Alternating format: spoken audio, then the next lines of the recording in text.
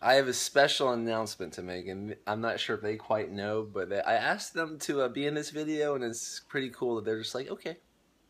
And here we are, and the lighting's kind of cool. We're at our friend's uh, house, who's a professional kiteboarder, who's in South Africa, going for the biggest wave air competition coming up. So Jesse, you're you're in our prayers.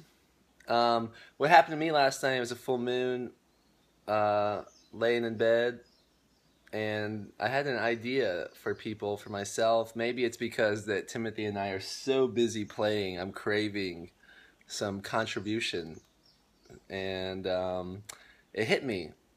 I've been hosting retreats, Timothy with Timothy, with Diana, with the countless others, or maybe we can count them.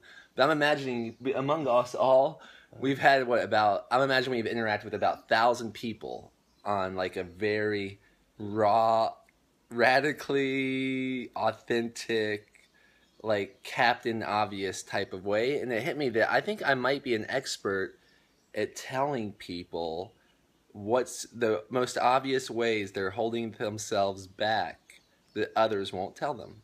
And i'll tell it to you really quickly and i'll make it really clearly and make it really easy to understand. Almost some might say that was too easy to understand daniel. Maybe you should be a bit softer but I have a feeling I could catalyze a breakthrough in almost anyone who is willing. So I thought maybe I'll start sneaking in a session or two a day. For anyone who's interested, just email me um, with the subject title Captain Obvious. to tenallin at gmail.com, T E N A L L I N at gmail.com. And one of the reasons I wanted them in the video, other than looking super pretty and giving me social credibility, is because they probably are great testimonies to my Captain Obvious skills. Would someone like to share?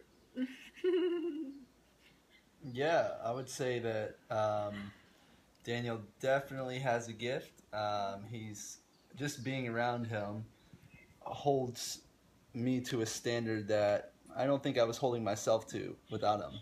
So I appreciate Daniel for sharing his gift with me and um, what I would say helping me live a, a higher level lifestyle, being a higher performing human. I've often said you should become a manager.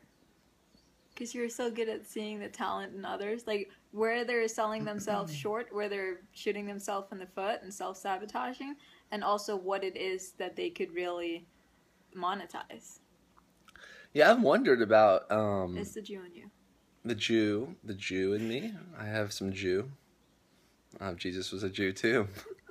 and I've uh, wondered though so if people would uh, kind of how you would describe these gifts. I've actually wondered if some people would describe this. Uh, some might describe my gift as being a psychic.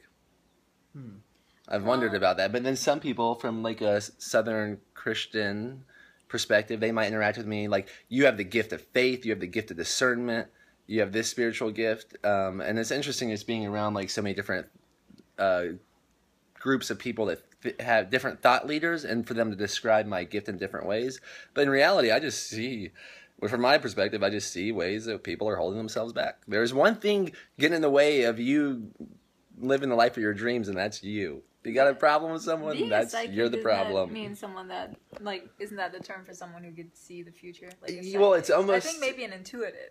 Yeah. Oh, an intuitive. Okay. Cool. I like that. I'm not saying I'm a psychic. I'm not saying these things. I'm just trying to describe what you might what experience. I, and what if I was? What if I was? Anyways, maybe I'll be asking you similar questions on our session. And uh, only this isn't. This would not be for the faint of heart. This would be for someone that who's really wants to have the mirror held up in every direction in every way possible as as effectively and efficiently as possible. So if you're looking to get like major work done in a very short period of time, then email me and I'll I'll stick it to this magic number of 420 again. Unless you got something, I'll break a rule. What you, got? What you got, Dinah? I was saying that what you got? Some people think they're ready, and then they turn out to not be. So if you think you're ready, I would ask yourself that question again: Are you really ready? Because you might not be and then again, even um, becoming aware that you're not ready is a lesson in itself. Mm-hmm. Growth, baby. It's awareness. One, acceptance. Two, action. Three. So you might you might sign up for Daniel's session just to find out that you're not ready for a session, and and that in itself could lend to a very a valuable lesson. Powerful lesson as well.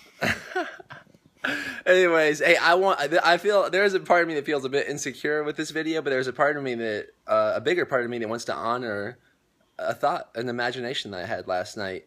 And imagination without action is just talking, but I like to walk the talk. So, and I, I like it when other people do as well. So, if you've been sitting on an idea for a while or imagining something and you keep telling yourself, I'll do it when, you're actually not winning, you're losing. You're putting off your dreams to some unbeknownst future. I was asking Timothy, someone wanted to come experience the Maui Super Training Hero Camp with us. Timothy's like, was explaining how this person wants to save money. And I was like, what do they want to save money for? Probably so they can have an experience like this. Uh, and it's just interesting how we put off our uh, we put off our dreams, and it's also interesting. On a side note, how people have a resistance to investing in their friends, but have don't even second question some of the things they buy, like the cell phone that I'm holding, and where is this money actually going? Or let's talk about universities investing anywhere from forty to hundred thousand dollars in a university. Now, that's a big investment. Yet you want to go buy like the least expensive uh, school in Denmark alcohol to uh, party with. what did you say? We get paid to go in school in Denmark. Uh, yeah. This could this could lead down any rabbit hole, so we'll uh, we'll stop on that one. But I'd love to go down the rabbit hole with you and get you that big golden carrot. Maybe we can find that big golden carrot that was so big it was right in front of your face you didn't even see it.